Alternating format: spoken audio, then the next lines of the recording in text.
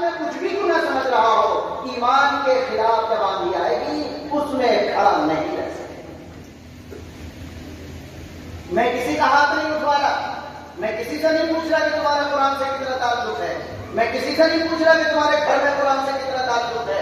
मैं किसी से नहीं पूछ रहा कि तुम्हारी आँख को कितने दिनों के बाद कुरान देखना नसीब होता है। मैं किसी से नहीं पूछ रहा तुम्हारी जबान को कब कुरान पढ़ना नसीब होता है। मैं किसी से नहीं पूछ रहा तुम्हारे घर में कब कुरान की तिलावत होती है। मैं किसी से नहीं पूछता तुम्हारी औलाद का मस्जिद से कितना ताल्लुक है। ये किसी से नहीं पूछ रहा, लेकिन ये पूरी ताकत के साथ कह जा रहा हूँ कि अगर अल्लाह की रस्सी कुरान से नहीं जोड़ा गया और अल्लाह के घर मस्जिद से ताल्लुक कायम नहीं किया गया तो आखिर जमाने के फिक्रों से बचने की कोई सूरत हमारे पास अमल करेंगे भाई इंशाल्लाह।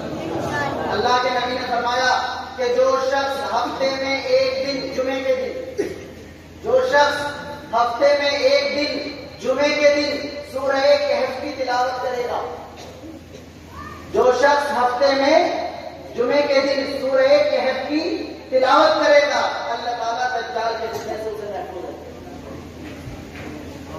अल्लाह ताला के फितने से उसे महफूज रखेगा, सूरह कहफ पंद्रहवें पारे से शुरू होती है सोलहवें पारे में खत्म हो जाती है। सुन रहे नौजवान सब पंद्रहवें पारे में शुरू होती है सोलहवें पारे में खत्म हो जाती है। कोई कहे कि मुझसे पढ़ना नहीं आता कुरान। अब तो ऐसे बहुत कम लोग होंगे, अल्लाह करे ना हो कोई ऐसा। लेकिन अगर कोई है जो ये कहता है कि मुझसे नहीं आता तो फिर मैं सब बोलूँगा मुझे नहीं पता आप क्या बिज़नेस करते हैं। मुझे नहीं पता आपको कितनी मसरूफियत है। मुझे नहीं पता आप कितने बड़े ठेकेदार हैं। मुझे नहीं पता आप कितने बड़े जमींदार हैं। आप जो हो अपने आप में हो, हम कुछ नहीं जानते। टाइम निकालकर पढ़ना सीखिए। इसके अलावा कोई रास्ता नहीं है आपके पास।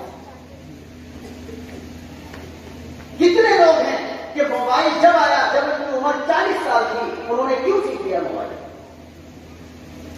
40 साल के बुज़ुर्ग को 15 साल के बच्चे से मोबाइल सीखते हुए शर्म नहीं आती तो अल्लाह का कुरान सीखते हुए बड़ी उम्र वाले को शर्म क्यों आती?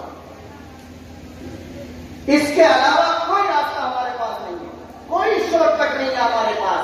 अल्लाह ने फितरों के जमाने में ईमान की हिफाजत का ज़रिया अपनी रस्सी कुरान को बताया है और अपने घर मस्जिद को बताया है। हम बिल्कुल रिपीट कर रहे हैं अपनी बात। इसके अलावा कोई शॉर्टकट नहीं है। हमें नहीं मालूम आप कितने बिज़ी रहते हैं। वक्त निकालिए।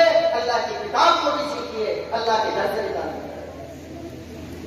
अल्लाह के नबी ने फरमाया, जुमे के दिन जो सूरह कहफ की तिलावत करेगा, दज्जाल के फितने से अल्लाह तबारक व तआला उसकी हिफाजत फरमाएगा। अब मैं अपनी आखिरी बात कह रहा हूँ, पाँच मिनट रहेंगे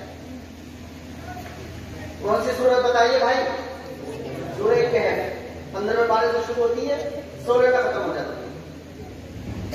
ये और बता दूँ कि ये वाली क्यों बताइए? ठीक है ना, ये तो सवाल पैदा होना चाहिए ना। जब डॉक्टर साहब को टैबलेट लिखते हैं तो ये तो पढ़ा लिखा आदमी जानने की कोशिश करता है कि ये वाली क्यों बताइए इसमें कौन सा साल्ट है कि ये वाली काम करेगी? ये वाला इंजेक्शन काम करेगा? तो ऐसे ही हमारे नबी ने सूरह बताइए, क्यों बताइए? ये बता